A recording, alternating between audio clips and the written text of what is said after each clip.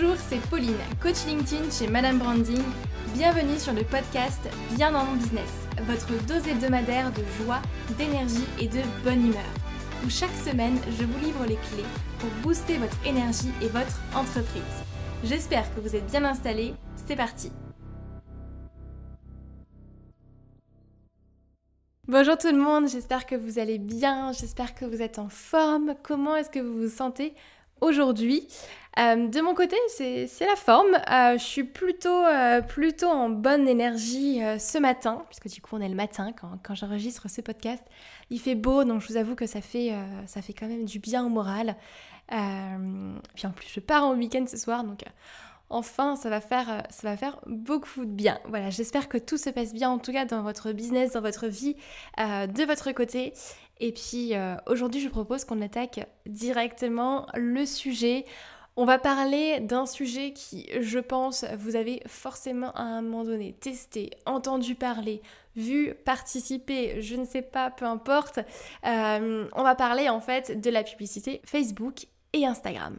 Donc des Facebook Ads et Instagram Ads qui sont du coup la même chose puisque c'est géré par Facebook en fait, tout simplement, c'est géré, tout est géré sur Facebook. Donc je parle grossièrement au final de Facebook Ads. Et pour vous en parler, euh, vous le savez, je ne suis pas la meilleure personne pour parler de Facebook Ads, même si bon, j'en fais un petit peu. Mais c'est pas ma spécialité, ce n'est pas mon expertise. Moi, je vais être vachement plus spécialisée dans tout ce qui est trafic organique, c'est-à-dire sans investir d'argent dans de la publicité. Donc, pour en parler, j'ai l'honneur de pouvoir inviter Théo Lyon euh, pour parler de la publicité Facebook. De son côté, Théo accompagne euh, des marques à tout simplement scaler leur marque, donc développer à grande échelle leur marque sur Facebook Ads euh, avec effectivement euh, des méthodes publicitaires et de la production de créa, de créa euh. Donc des créas, en fait, c'est tous les créatives, donc les images, les vidéos, les textes, les photos, etc., etc. Donc, sans plus attendre, on va se lancer tout de suite dans l'interview avec Théo, qui, a été, qui était très riche. J'espère sincèrement qu'elle vous plaira et qu'elle vous donnera en tout cas une meilleure vue d'ensemble sur la publicité Facebook et sur qu'est-ce qu'il faut faire concrètement pour se lancer dans la publicité Facebook. On a parlé notamment de pour qui est-ce que c'est fait, pour qui est-ce que ce n'est pas fait, puisque la publicité Facebook n'est pas conseillée ni même adaptée à tout le monde au final et pour tous les objectifs. Donc ça c'est important vraiment à comprendre. Et, euh, je vais pas forcément m'avancer sur le sujet, vous allez l'écouter dans l'interview. Donc pour qui est-ce que c'est fait Pour qui est-ce que ce n'est pas fait Quelles sont les grandes étapes pour euh, lancer sa publicité Facebook Par quoi est-ce qu'on commence Quel est le budget également qu'il faut y allouer euh, Comment cibler également au niveau du ciblage Toutes ces petites choses-là qui au final euh, font toute la stratégie d'une marque, toute la stratégie de votre business pour, pour développer votre business à plus grande échelle grâce aux publicités Facebook. Donc, sans plus attendre, je vous laisse avec l'interview avec Théo. Installez-vous confortablement et on est parti. Bonjour Théo. Salut. Comment tu vas? Eh bien écoute, ça va très bien, très content de, faire cette petite interview. Moi, je suis très très contente en tout cas de pouvoir t'avoir sur le, sur le podcast. En plus, pour parler d'un, d'un sujet que tu connais, que tu connais quand même très bien, euh, la publicité du coup Facebook et, euh, trafic, euh, trafic payant qui va, je pense, en aider un petit peu plus d'un, en tout cas, qui nous écoute. Bah écoute, euh, ravi. Est-ce que tu veux peut-être te présenter pour les personnes qui nous écoutent? Et qui ne te connaissent pas du coup encore Avec plaisir. Écoute, moi, je m'appelle euh, du coup Théo Lyon, j'ai 23 ans et j'ai monté une, une boîte qui s'appelle Kuda, qui, est une agence Facebook Instagram Ads, euh, qui a maintenant un an et deux mois. Et donc, on bosse actuellement. notre mission est assez simple, c'est d'aider des marques e-commerce à accélérer le plus vite possible que sur ces deux canaux-là, du coup, Facebook et Instagram, qui sont en fait qu'un seul canal finalement dans, dans, le pilotage. Et donc, on les aide par deux moyens, on gère leur campagne et on produit aussi les publicités qu'on va utiliser dans les campagnes. Donc actuellement, on bosse avec 70 euh, clients quasiment et ça se passe très bien. Ah, c'est pas mal, 70 clients déjà. Moi, j'imagine que tu as une équipe. oui, j'ai une équipe. On est, on est, on est 12, donc euh, il y a du monde. Et du coup, comment est-ce que tu en es arrivé là? Euh, Alors, il faut que je décide où est-ce que j'arrête le curseur de remontage du temps? Je pense que, en vrai, j'ai commencé juste à faire du freelance. Moi, j'ai eu une expérience en agence généraliste pendant du coup mon année de césure sais parce que oui, un truc j'ai pas dit en présentation, mais je suis encore étudiant à HEC pour quelques semaines euh, maintenant. Mais hum, du coup, j'ai eu l'occasion pendant cette année à HEC de faire un stage de césure dans l'agence digitale, euh, qui m'a pas du tout plu. Euh, où je suis parti à la moitié du stage parce que ça me plaisait pas. Mais du coup, en rentrant, je me suis dit il fallait que je gagne un peu d'argent parce que je pouvais pas faire de stage, etc. Donc j'ai fait du freelance, ça s'est bien passé. Et puis quand naturellement, en fait, quand j'avais trop de clients pour les gérer tout seul, j'ai monté la structure. Et, ça s'est fait en fait de façon hyper logique. Et donc j'ai un peu de mal à répondre à cette question. J'ai pas d'histoire de storytelling de ouf, tu vois. Mais c'est purement comme ça, quoi. Ouais, c'est venu à toi au final et c'est ça qui est pas plus mal. Hein. Ouais, c'était logique, quoi. Ok. Ok, ça marche. Et euh, une question qui me vient là, par exemple, tu vois, tu, tu me disais que tu étais euh, dans, dans, une agence euh, de marketing ou de marketing digital? Marketing digital. Marketing digital, d'accord. Ok. Oui, donc au final, Facebook Ads et, et, Instagram, ça paraissait, ça paraissait logique. En agence de marketing digital, euh, j'ai pas appris grand-chose parce que justement, je, me, je, faisais un peu le taf que personne ne voulait faire sur le reporting. Euh, je faisais des tableaux, j'ai pas lancé beaucoup de campagnes et en fait, on, on m'apprenait plutôt euh, ce qu'il faut faire, fais ça, fais ci, fais ça. Enfin, tu vois, donc en, soi, oui, j'ai lancé les campagnes, mais j'ai jamais compris pourquoi est-ce que je faisais des trucs. Donc, je suis vraiment parti de zéro quand j'ai commencé à faire du freelance. Donc, euh, et on faisait plein de canaux aussi. Donc, j'estime vraiment pas avoir pris un, une longueur d'avance en ayant bossé en agence digitale. Quoi. Ouais. Et puis au final, c'est en se lançant aussi soi-même à son compte qu'on apprend le plus hein, et, qu'on, et que c'est très formateur. absolument. absolument. Bah, tu redécouvres. Et à ce moment où tu, où tu te mets dans, le, dans, la plateforme Facebook et tu es censé avoir déjà manipulé. En fait, tu connais rien. Euh, c'est assez cata. Et franchement, j'ai peur parce qu'il y a plein de gens aussi qui sont comme ça, qui sont dans des tafs et qui se disent Ok, je fais le taf, je fais le taf. Et après, quand je, je serai en entrepreneur ou en freelance, ça, sera tout pareil. Mais en fait, non, c'est très différent. Il y a plein d'autres contraintes qui arrivent. Ouais, tout à fait. Tout à fait. Mais c'est ça qui est formateur au final. Et, euh, et, du coup, euh, ma première question, ce serait est-ce que, euh, selon toi, la publicité euh, payante, au final, euh, Instagram, Facebook, est-ce que tu la conseilles à tout le monde ou est-ce qu'il y a des personnes, du coup, pour qui est-ce que ce n'est pas fait déjà? Ouais, alors non, je la conseille absolument pas à tout le monde. C'est d'ailleurs pour ça qu'on a construit l'agence autour des gens à qui on, seulement les gens qui sont intéressants, du moins pour nous, de proposer ça, euh, à savoir les agences qui, enfin les, pardon, les marques qui ont déjà des produits qui fonctionnent. Parce qu'en fait, Facebook, oublier que c'est rien de plus qu'un canal. En fait, ça va pas décupler ton, ton product market fit. C'est-à-dire, si t'as pas de produit market fit bien établi, Facebook ne t'aidera pas là-dessus. Donc, en fait, on recommande, je pense que c'est pas bien adapté déjà aux gens qui, ont, sont en train de tester leurs produits. si t'as pas de traction organique, ça sert à rien d'aller faire du payant, vraiment. C'est un truc qui est, pas bon. Et ensuite, il faut quand même un certain budget pour pouvoir se lancer parce que sinon, euh, comme c'est une, une, une, plateforme pardon, qui fonctionne avec les systèmes du machine learning, euh, plus tu as de données, plus tu as des bons résultats. Et c'est pas forcément accessible à tout le monde. Donc, je conseille vraiment de valider déjà tout ce qu'on peut euh, en organique avec le moins de moyens possible. Et, ça devient en fait, Facebook, un outil de scale plus qu'un outil de, test de produit marketing. Ouais. Est-ce que tu peux expliquer, juste pour les personnes qui nous écoutent, ce que c'est un produit product Bien sûr, bien sûr. Alors, c'est parce que c'est une notion qui est en fait assez simple sur le papier, mais assez compliquée à constater en, pratique. Euh, qu'est-ce qu'un product market fit? C'est quoi les conditions? Product market fit, c'est simplement juste un produit qui trouve son marché. C'est la définition la plus simple. Après, c'est toujours compliqué de, de dire est-ce que ce produit-là a trouvé son marché ou pas. Et le meilleur prisme en vrai pour euh, comprendre ça, c'est que c'est. Enfin, en gros, tu le sais, tu vois. Oui, et c'est vrai que c'est super intéressant ce que tu amènes parce que euh, moi, c'est ce que je dis aussi d'ailleurs euh, à mes clients à chaque fois, c'est que si ça marche pas en organique, il n'y a pas forcément de raison pour laquelle ça devrait marcher déjà après en payant. C'est pas parce que tu payes d'un coup tu vas avoir des clients. Quoi. Je suis d'accord. Voilà. Et du coup, à partir de quel moment est-ce qu'on peut, est-ce qu'on peut se dire, ben, ok, je me, je me, lance dans la publicité Facebook, je vais, je vais scaler ce que j'ai déjà actuellement? Bah, du coup, il faut deux choses, je pense. Euh, la première, c'est d'être très très sûr que son, produit est bon et que tu es quand même à un stade de ta boîte où tu es dans une dynamique d'accélération et un peu moins de découverte, parce que tu vas avoir beaucoup de découvertes, enfin, de découvertes à faire sur le canal Facebook Ad en soi. Et après, il faut avoir le budget pour pouvoir se lancer. Euh, le budget pour pouvoir se lancer, la réponse, euh, quel est le budget qu'il faut, est assez ambigu parce que ça dépend surtout en fait de ce qu'on appelle le coût d'acquisition cible. Donc en fait, combien toi tu es prêt à payer pour amener quelqu'un générer une conversion qui t'intéresse? Souvent, c'est un achat pour les e-commerçants. Euh, et en fait, là-dessus, tu, comme c'est une plateforme je où il y a du machine learning, il faut donner une certaine quantité. Donc, il y a des guidelines sur Facebook dont je ne vais pas vous parler qui sont un peu compliqués. Mais en fait, il faut partir juste euh, avec un budget. Le, meilleur conseil que je peux donner à des personnes qui n'ont jamais fait de pub Facebook, qui veulent commencer, c'est tu pars avec un budget que tu es prêt à perdre et tu fais tes petits tests. Euh, donc, tu commences avec 500 000 euros, un truc comme ça. mais il faut avoir quand même les moyens de se foutre 500 000 euros dans la plateforme. 500 mmh. ou 1000 euros dans la plateforme. Oui, pas 500. Et, ensuite, tu fais des petits tests et ensuite de là, tu, tu, commences à faire tes optimisations, etc. Mais malheureusement, je n'ai pas de réponse satisfaisante à cette question. Oui, moi j'allais justement rebondir et te demander euh, combien est-ce que tu conseilles, par exemple, de partir pour un budget euh, journalier? Euh, moi, je sais que certaines personnes m'ont déjà dit, par exemple, tu vois, tu peux commencer avec 5 euros par jour, quelque chose comme ça. Maintenant, c'est peu aussi pour, le truc, c'est qu'en fait, si tu, si, tu, si tu mets 5 euros par jour, typiquement ce que je disais sur les contraintes d'optimisation, et que ton produit, euh, disons qu'il vaut 50 balles, et ton coût d'acquisition cible, c'est 20 euros, euh, bah 5 euros, tu n'auras pas de conversion. Au, mieux, des cas, tu peux avoir une conversion tous les 4 jours. Et encore, si tu dépenses ton, budget sur une seule audience, Donc, tu vois, c'est tout ça, c'est contraintes d'optimisation. Ce qu'il faut, c'est avoir. Non, normalement, ce qu'on dit, c'est qu'il faut avoir assez pour générer au moins une conversion par jour. Euh, c'est une galette qui n'est pas, pas donnée par Facebook, etc. C'est un truc qu'on constate juste. Donc, euh, après, tu peux faire tes petits calculs. Ton, coût d'acquisition, si c'est 20 euros, tu fais bon, 20 fois 30 et, ça te donne un budget de test. Si tu veux faire sur un mois, tu peux le rétrécir si tu as moins de budget. Mhm. Euh, mais c'est assez tricky quand on a des petits budgets. C'est pour ça que nous, on n'accompagne pas des marques qui ont des petits budgets parce que tu te retrouves trop coincé, vraiment, sinon pas, pas tester ce que tu veux tester. Ouais, ouais, c'est ça. Et, et, du coup, ça m'amène à une question, une question que je pense que les gens vont se poser en écoutant ce podcast. Comment est-ce que tu détermines ton coût d'acquisition quand tu n'as jamais fait de pub? Parce que techniquement, tu peux pas. Bah, tu peux pas du tout. Tu as deux choses en fait. La première chose qu'il faut fixer, c'est ton coût d'acquisition break-even, c'est-à-dire combien, c'est quoi le max que je peux dépenser pour que je ne gagne pas d'argent. Et un coût d'acquisition break-even, ça se fixe pas juste, euh, break-even, ça veut dire équilibre. Ça se fixe pas juste par rapport, tu vois, disons que ton produit coûte 100 euros. Toi, il coûte 50 euros à produire et, et à envoyer, etc. Et donc, tu as 50 euros à dépenser en acquisition, qui sont ta marge. Euh, donc ça, c'est la première chose, tu vois. Donc tu dis, OK, mon coût d'acquisition max, c'est 50 euros. Ensuite, tu vas le découvrir dans la plateforme, combien est-ce que Facebook t'en donne. Et c'est là où l'optimisation permet de descendre ce coût d'acquisition et, de le mettre bien.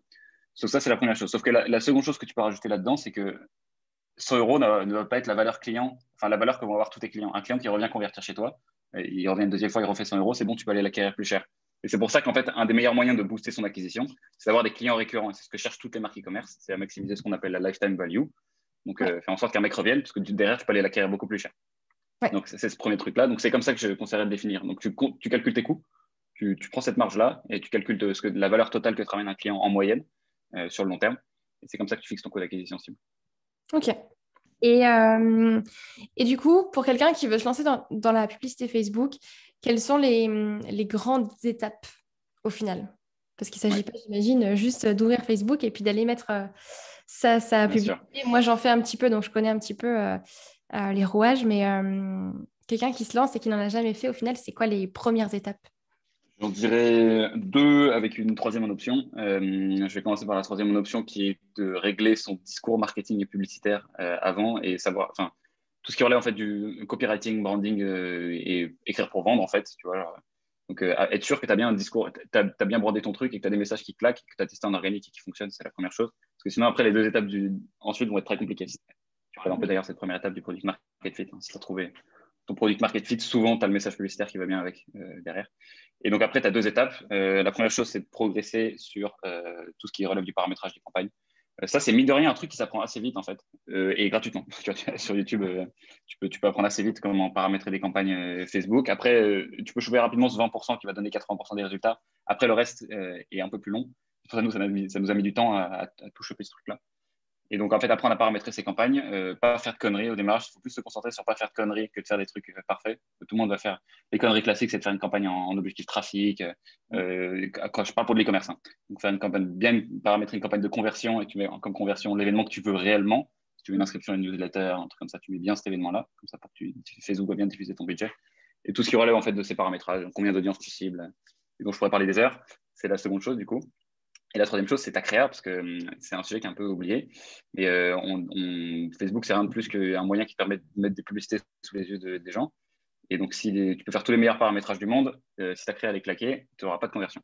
Donc, euh, et c'est pour ça que le discours publicitaire dont je parlais en premier point est très important. Parce que le meilleur moyen de faire des bonnes créas, c'est d'avoir un bon produit et un bon discours. Et après, trouver des traductions visuelles de le faire, donc avoir des vidéos, des, carousels, des statiques, etc. Ça, c'est beaucoup plus facile quand tu as bien réglé hein, tes facteurs avant. Et donc, le troisième facteur sur lequel il faut se poser, c'est comment est-ce que je traduis mon message publicitaire de façon visuellement attractive? Et c'est là où on peut aller s'inspirer. il y a plein de sources d'inspiration sur Internet. La bibliothèque publicitaire est, en fait une, encyclopédie qui permet de, voir euh, toutes les publicités qui sont diffusées actuellement. Donc, si vous avez un concurrent et que vous cherchez de l'inspi, c'est là qu'il faut aller chercher. Il y a plein de services qui font des, petites sélections et tout qui sont cool. Euh, et voilà, je dirais que ce sont les trois points. Donc, euh, publicité, paramétrage technique, plateforme et créa.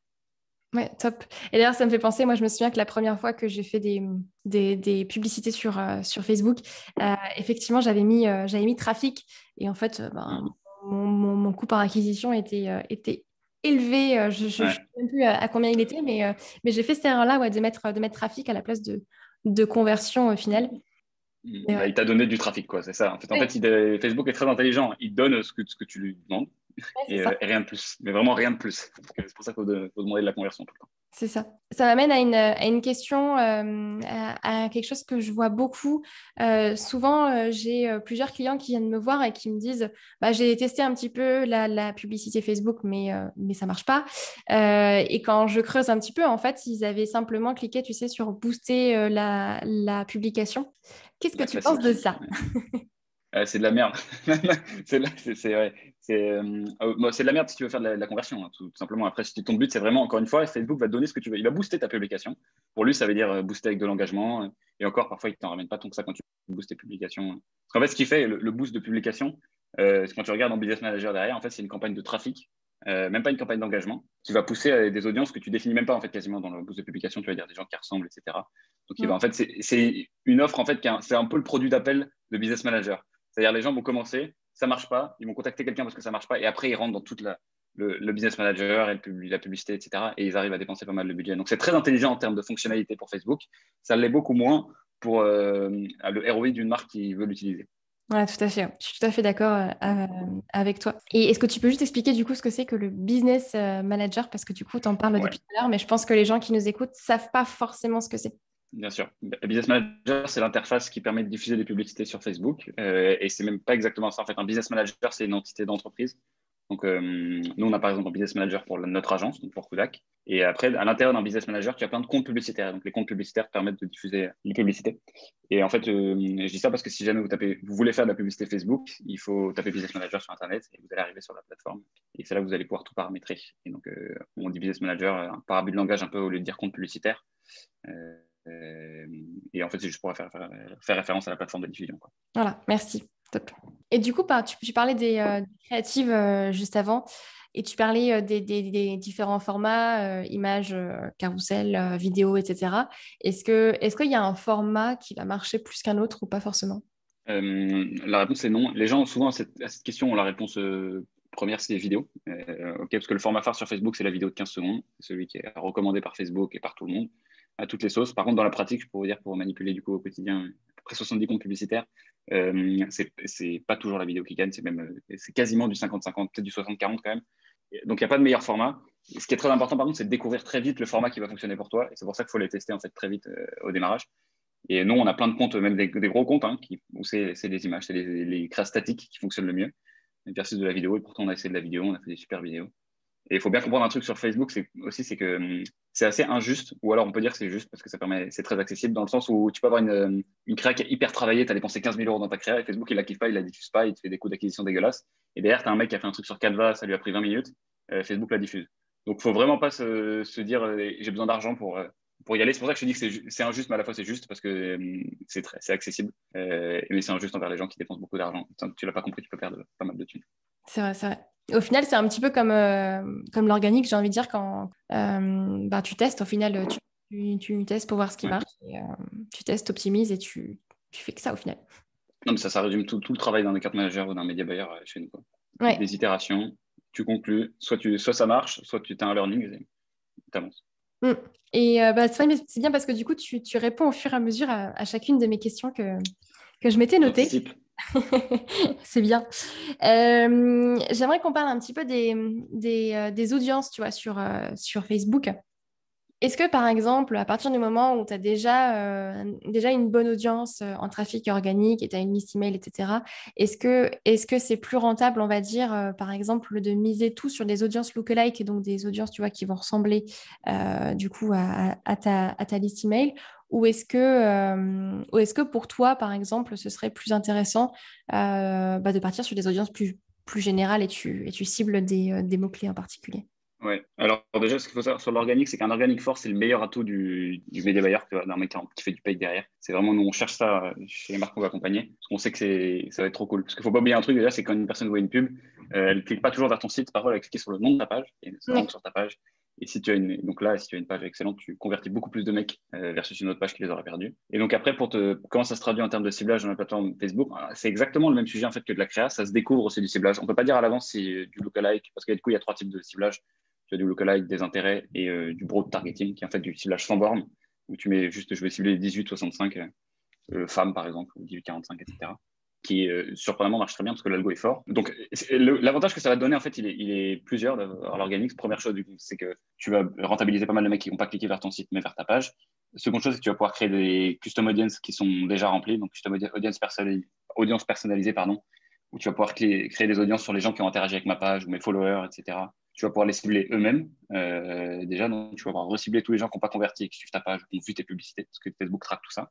Et troisième chose, c'est qu'en acquisition, quand tu vas vouloir aller chercher des nouvelles personnes, qui ne sont pas des personnes qui ont suivi ta page, etc., tu vas pouvoir créer des lookalikes basés sur ces personnes-là. Et donc, versus un mec qui se lance de zéro, toi, tu as déjà de la donnée sur laquelle tu peux créer tes lookalikes. D'autant plus que, hum, bon, je vais peut-être un peu rentrer dans le détail, mais il y a une mise à jour qui est sortie il n'y a pas longtemps, euh, qui est iOS 14.5, qui va juste rendre un peu plus compliqué le tracking des gens, euh, mais qui, du coup, va rendre très compliqué le fait de savoir si une personne a acheté sur ton site, ajouté au panier, etc. Mais par contre, tout ce qui relève de l'interaction générée sur Facebook et Instagram, ça, ça va pas se perdre. Ça, c'est hyper, c'est traqué et ça sera traqué de la même façon après cette mise à jour. Donc, c'est un putain d'avantage en fait d'avoir, de l'organique qui est fort parce que tu as une source fiable. Quoi. Ouais, et puis, euh, et du coup, c'est important que, que tu amènes effectivement le fait que quand tu fais de la publicité Facebook, euh, bah, il faut avoir une page Facebook aussi, euh, aussi en place et si possible, effectivement, pouvoir l'alimenter aussi. Oh, carrément, je suis aligné. Top. Et pour toi, à partir du moment où tu lances du coup une publicité, c'est quoi pour toi les quelles sont les métriques les plus importantes au final et les, et les indicateurs que tu vas qui pour toi sont les plus importants quand tu analyses une publicité Facebook après? Voir si elle a marché ou pas alors, en fait, sur Facebook, c'est un peu paradoxal parce que tu n'as qu'une seule métrique qui est intéressante, mais, ça ne veut pas dire que toutes les autres ne sont pas intéressantes. Ce sont juste des sous-métriques qui permettent de maximiser ta métrique max.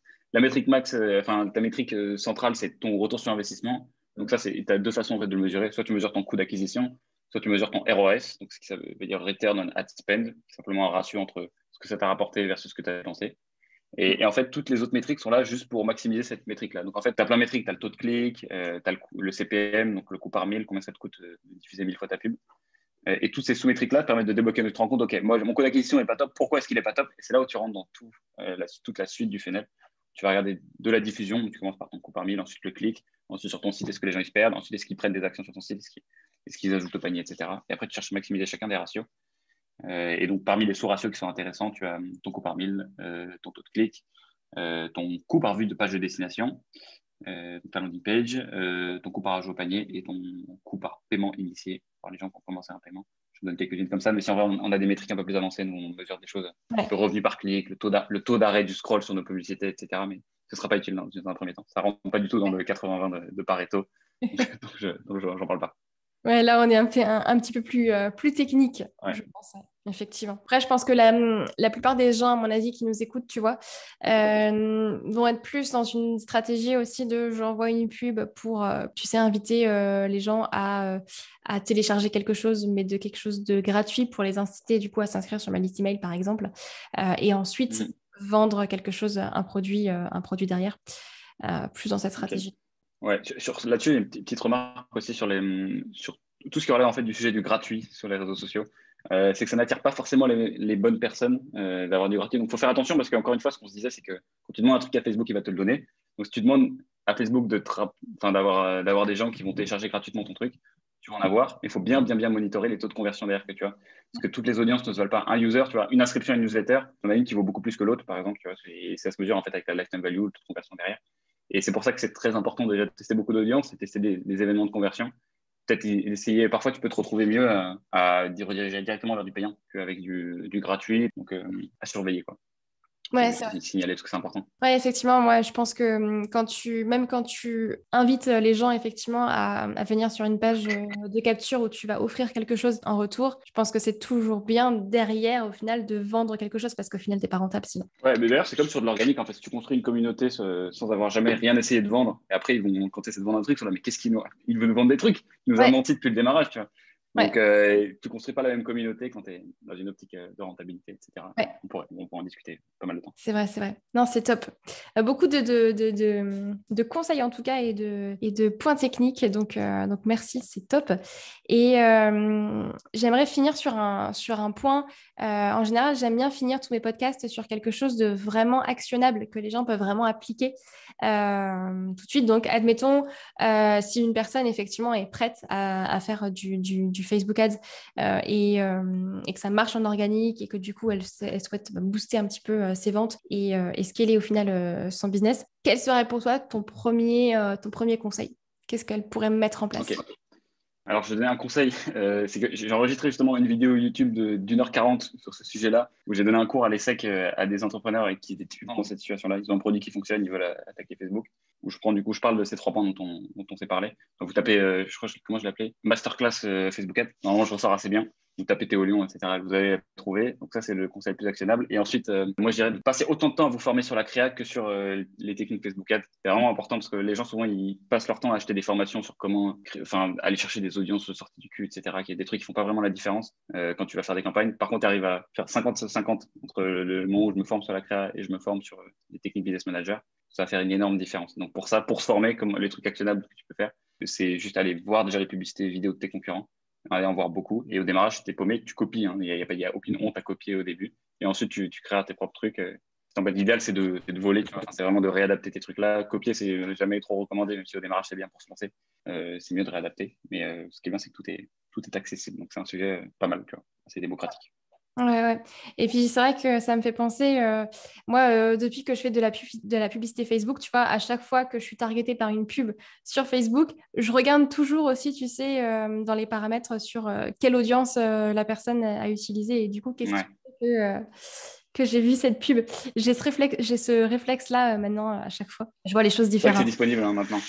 Ça n'a pas toujours été cette fonctionnalité, mais c'est marrant parce que des fois, tu te rends compte que tu es dans des audiences aussi qui font aucun sens. Tu ne sais pas comment Facebook les a construites. C'est vrai. Non, c'est top. Bah, super, euh, super conseil. C'est vrai que se former, c'est euh, la base au final. C'est comme que tu avances et que tu apprends. Donc, euh, très, très bon conseil. Top, top, top. Merci beaucoup. où est-ce qu'on peut te retrouver? Alors, je, suis présent sur quasiment tous les réseaux, mais je recommande YouTube en priorité. si jamais vous êtes sur TikTok, enfin, YouTube, du coup, c'était au Lyon et TikTok, c'était au Le Lyon. Ok, ça marche. De toute façon, normalement, les, les, personnes qui nous écoutent seront tous sur LinkedIn aussi. Donc, je mettrai toutes les Bah oui, il y a LinkedIn, bien sûr bien sûr, qui est mon réseau phare, mais j'essaie d'advertiser les autres un peu. Non, mais je mettrai de toute façon toutes les infos en, description du podcast, donc comme ça, ils auront, euh, ils auront tout. Euh, tu voulais rajouter quelque chose? Euh, Pas nécessairement. Écoutez, bah, déjà, si vous voulez suivre un peu l'actualité, allez sur TikTok, YouTube. Vous direz que je balance des trucs un peu avancés sur notamment pas mal de choses dont on s'est parlé pendant cette petite discussion. Et, bah ouais, et pratiquer vraiment, progresser. On parlait de formation sur Facebook, mais c'est pas un sujet qui est très friendly avec la théorie c'est un sujet qui se découvre dans la pratique beaucoup. Et ne négligez pas ça. C'est-à-dire que faites un mois de campagne dans Business Manager à toucher des trucs, vous allez être bien plus fort qu'un mec qui s'est formé pendant six mois mais qui n'a rien touché. C'est vrai, quand on met les mains dans le cambouis, c'est toujours plus. Euh, on apprend toujours plus. Bah, merci beaucoup. Merci beaucoup en tout cas euh, d'être intervenu. Je pense que ce sera de très très beaux conseils en tout cas. Merci à toi. À très vite. Et voilà, cette interview est terminée. J'espère sincèrement qu'elle vous aura apporté beaucoup euh, de choses, d'ouverture en tout cas sur la publicité Facebook et de techniques parce que Théo a été, euh, a été très généreux pour le coup et vous avez vraiment de belles pépites euh, dans cet épisode-là pour véritablement vous lancer et commencer un petit peu à mettre les mains dans le cambouis et à aller voir comment se passe le business manager. Donc je vous invite très fortement, si vous êtes prêts, si tous les, tous les, tous les voyants sont ouverts pour vous, pour vous lancer dans la publicité et le trafic payant, eh bien allez-y, ouvrez votre business manager créez votre compte publicitaire et puis, euh, et c'est parti, vous allez pouvoir euh, commencer à tester, mettre les mains dans le cambouis. Si euh, vous voulez également le faire, moi je vous invite très fortement à aller vous former, à aller voir un petit peu comment ça se passe. Personnellement, j'utilisais beaucoup au début des vidéos que je regardais simplement sur YouTube. Il y a énormément de contenu qui est fait pour. Et puis allez voir la chaîne de Théo Lyon, vous verrez, c'est euh, des pépites. Donc euh, n'hésitez pas à aller, euh, aller checker tout ça. Tout sera en descriptif du coup du podcast avec les liens où vous pourrez retrouver Théo. Et puis quant à moi, j'espère que, euh, j'espère que cet épisode vous aura plu. N'hésitez pas à me mettre euh, des étoiles et un commentaire sur Apple Podcast, ça me ferait très très plaisir. Et puis, euh, et puis ça aidera surtout le podcast à se faire connaître. Et du coup, quant à moi, je vous dis une très très belle semaine. Prenez soin de vous. Et du coup, on se retrouve lundi prochain pour un nouvel épisode de Bien dans mon business. Bye bye